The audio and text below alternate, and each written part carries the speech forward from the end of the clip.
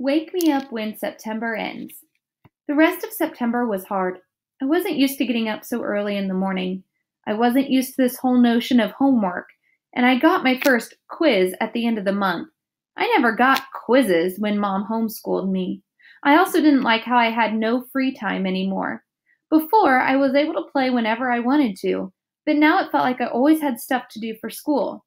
And being at school was awful in the beginning.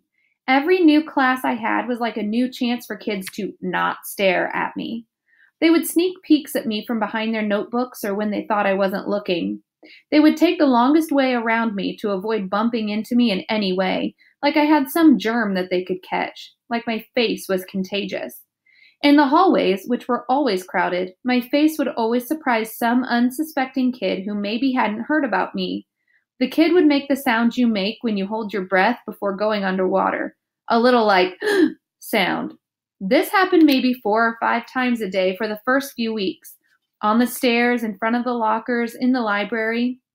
500 kids in a school. Eventually, every one of them was going to see my face at some time.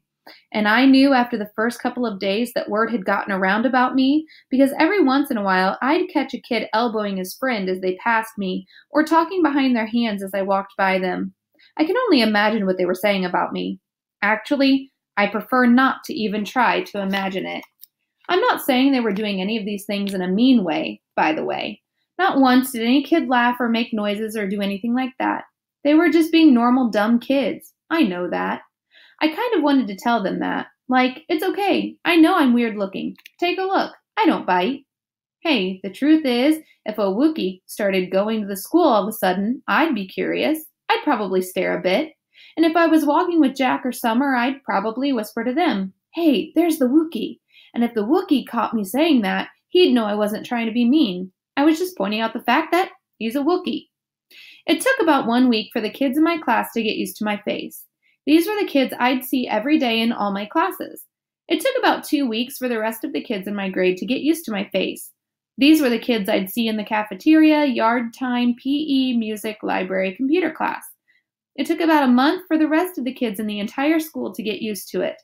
These were the kids in all the other grades. They were big kids, some of them. Some of them had crazy haircuts. Some of them had earrings in their noses. Some of them had pimples. None of them looked like me. Jack will. I hung out with Jack in homeroom, English, history, computer, music, and science, which were all the classes we had together. The teachers assigned seats in every class, and I ended up sitting next to Jack in every single class. So I figured either the teachers were told to put me and Jack together, or it was a totally incredible coincidence. I walked to classes with Jack too. I know he noticed kids staring at me, but he pretended not to notice. One time, though, on our way to history, this huge eighth grader who was zooming down the stairs two steps at a time accidentally bumped into us at the bottom of the stairs and knocked me down. As the guy helped me stand up, he got a look at my face, and without even meaning to, he just said, Whoa! Then he patted me on the shoulder like he was dusting me off and took off after his friends. For some reason, me and Jack started cracking up.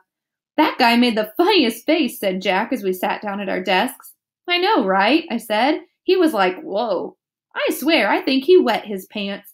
We were laughing so hard that the teacher, Mr. Roche, had to ask us to settle down. Later, after we finished reading about how ancient Sumerians built sundials, Jack whispered, Do you ever want to beat those kids up? I shrugged. I guess. I don't know. I'd want to. I think you should get a secret squirt gun or something and attach it to your eyes somehow. And every time someone stares at you, you would squirt them in the face. Some green slime or something, I answered. No, no, with slug juice mixed with dog pee. Yeah, I said, completely agreeing. Guys, said Mr. Roche from across the room, people are still reading. We nodded and looked down at our books. Then Jack whispered, Are you always going to look this way, August? I mean, can't you get plastic surgery or something? I smiled and pointed to my face. Hello, this is after plastic surgery.